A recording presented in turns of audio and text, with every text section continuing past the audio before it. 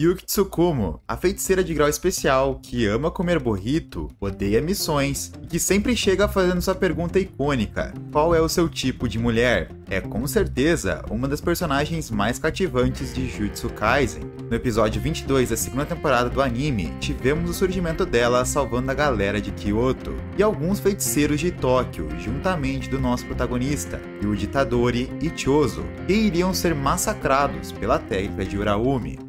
Até então, pouco foi citado na adaptação animada o seu passado e por que ela é tão poderosa, sendo capaz de destruir o planeta com sua técnica inata. Então te convido a se inscrever no canal, ativar o sininho das notificações, soltar aquele flash negro nesse like e vir comigo conhecer a história e poderes da feiticeira, que é a fonte de todos os males de Jujutsu Kaisen.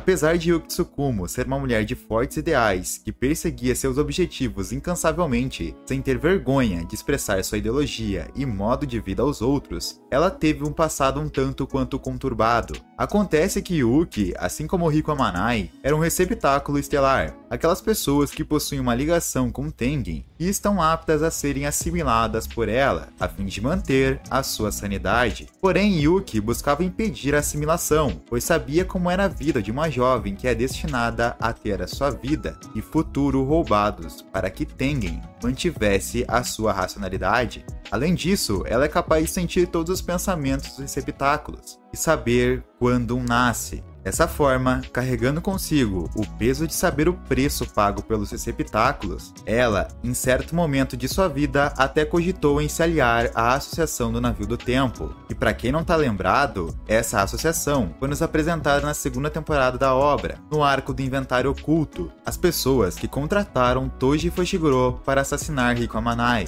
Tal grupo foi consolidado na Era Nara, mesma época em que Tengen começou a difundir o budismo no Japão. Os seguidores dessa associação adoravam Tengen como uma divindade, uma estrela, e futuramente lhes concedeu seu nome popular, o Grupo Religioso Estelar. Eles buscavam impedir que a Mestre Tengen trocasse de receptáculo. Eles pregavam que ela deveria evoluir, transcender para algo além do humano, o que de certa forma era alinhado aos objetivos de Yuki. Contudo, no fim, Yuki decidiu não se aliar a eles, pois ao passar dos anos, esse grupo passou a eliminar os receptáculos ao invés de protegê-los. Yuki queria tornar a existência de Tengen desnecessária no mundo, um mundo onde não haveria necessidade de barreiras no Japão, acabando com o ciclo de assimilações que permeava os receptáculos. E para tanto, ela precisava acabar com o mal que assolava o mundo, as maldições e espíritos amaldiçoados. Dessa forma, ela entra para a escola Jujutsu e se torna uma feiticeira a fim de adquirir poder para exorcizar as maldições, se tornando um dos quatro feiticeiros de grau especial de Jujutsu Kaisen, juntamente com Suguru Geto, Satoru Gojo e Yuta Okotsu. Contudo, com o passar do tempo, ela percebeu que as missões em que os feiticeiros eram imbuídos não causavam impacto significativo para findar o problema, pois, como já vimos em capítulos anteriores, as maldições são geradas de sentimentos sentimentos e emoções negativas, como a tristeza, raiva, ódio, entre outros sentimentos, que se acumulam e geram as maldições. Por isso que as maldições, apesar de serem exorcizadas, nunca morrem de fato. Elas sempre voltam com o passar dos anos, de forma cíclica, pois os sentimentos que as geram são os mesmos.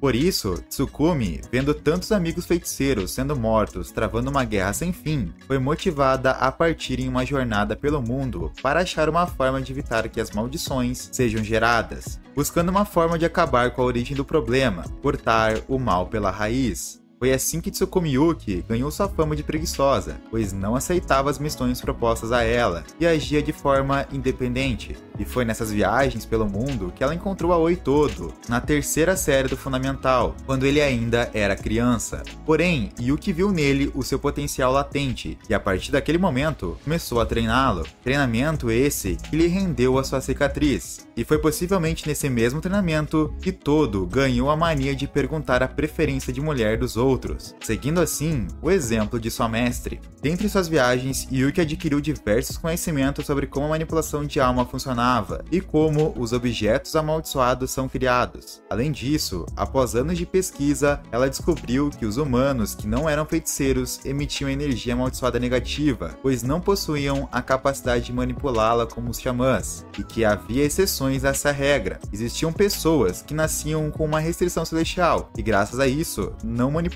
e nem emitiam energia negativa. A exemplo disso, temos Toad e Maki, e graças a essa restrição, o equilíbrio do mundo Jujutsu compensou suas restrições, lhe concedendo um corpo aprimorado ao limite, com força, agilidade e destreza física absurdas, e que possivelmente essas pessoas são a chave para acabar com as maldições de forma pacífica pois a outra opção que ela havia encontrado para o problema até então não era nada agradável. Segundo ela, a segunda opção seria assassinar todas as pessoas não feiticeiras do mundo. Assim, não haveria mais emissão de energia amaldiçoada negativa e, consequentemente, todas as maldições se extinguiriam. E infelizmente, tal raciocínio hipotético cativou outro feiticeiro de grau especial quando Yuki visitou a escola para ver Satoru Gojo, Suguru Geto, e após presenciar a morte de Rikomanai e Haibara, ao escutar tal teoria de Yuki, ele se afeiçoou a ela, abandonando a escola Jujutsu e futuramente dando origem aos acontecimentos do arco de Jujutsu Kaisen Zero,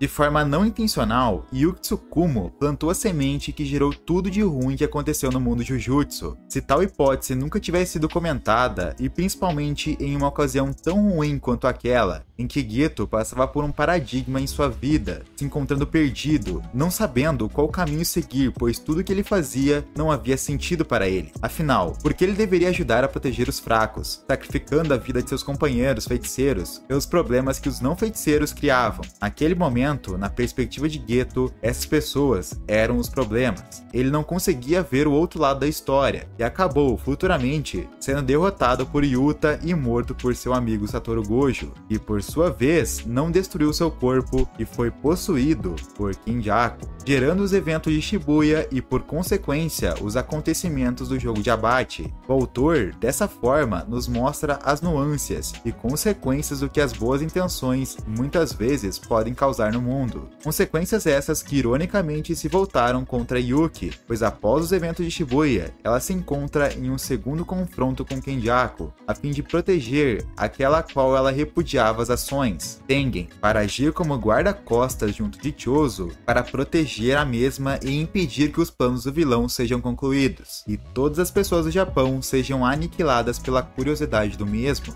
Enjaku iria assimilar Tengen através das técnicas de Geto, pois Tengen agora já havia transcendido e era mais maldição que humano. O plano do vilão era fundir Tengen junto com a população japonesa, só para ver no que ia resultar e saciar a sua curiosidade. Nesse confronto, nos é apresentado as habilidades de Yuki e por que ela é uma feiticeira de grau especial. Técnicas essas que, curiosamente, apesar de sua classificação, a sede de Jutsu não tinha conhecimento. Para vocês terem uma noção, Yuki com apenas um golpe foi capaz de destruir uma das maldições mais poderosas que Kenjaku tinha. A técnica inata de Yuki, Bombaye, lhe concede um Shikigami, Garuda, além de conceder a ela a capacidade de modificar virtualmente o seu peso e do Shikigami, potencializando assim seus ataques e os tornando extremamente destrutivos. Imagine agora você tomando um soco com o peso de uma tonelada. Acho que dói, hein? Além de potencializar seus ataques físicos, ela consegue lançar o Garuda em seu alvo, modificando seu peso para potencializar o ataque.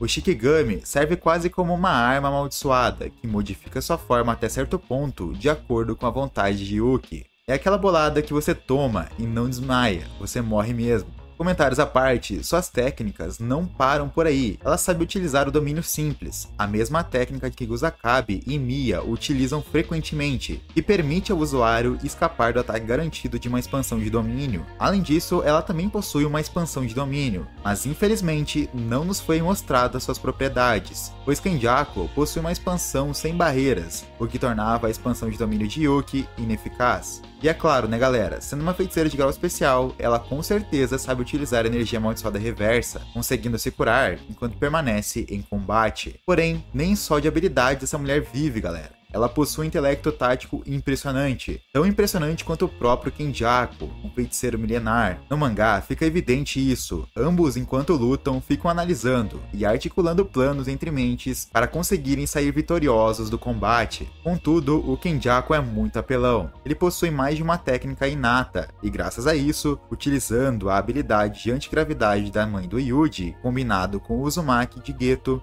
saiu vitorioso por um tris, pois a técnica de Yuki não tem limite de amplificação e ela quase destruiu o planeta e o sistema solar inteiro, concentrando tanta massa em um ponto que acabou gerando um buraco negro em uma tentativa de se sacrificar e levar Kenjaku consigo. Porém, Kenjaku conseguiu utilizar a reversão de feitiço da antigravidade e saiu vivo por muito pouco. Após sua morte, seu legado foi deixado nas mãos de Yuji Tadori, que recebeu de Chozo todas as anotações que Yuki fez em sua pesquisa. Acontece que durante o período que Chozo e Yuki permaneceram juntos como guarda-costas de Tengen, ambos, de certa forma, se afeiçoaram um ao outro. Yuki revelou seu tipo de homem, que são os caras que são esforçados, assim como Chozo, pedindo previamente para que Tengen retirasse Chozo do combate caso ela tivesse que utilizar a sua cartada final, o que no futuro isolou Chozo quando ela pereceu no combate. Eu particularmente apoiava muito esse casal, Pena que os acontecimentos desastrosos dos arcos impediram que esse casal se concretizasse. Mas me diz você, o que você acha? Eles teriam futuro se ambos permanecessem vivos na história? Coloca aqui nos comentários para mim saber. Bom, galera, essa foi a história de Yuki Tsukumo, uma feiticeira com boas intenções, na busca de seus objetivos, infelizmente causou uma cascata de eventos e, consequentemente, causaram muitos dos acontecimentos desastrosos de Jujutsu Kaisen. Se você assistiu até aqui, por favor, confira sua inscrição, deixe seu like e compartilhe com seus amigos. Muito obrigado por assistir. Até o próximo vídeo. Fui!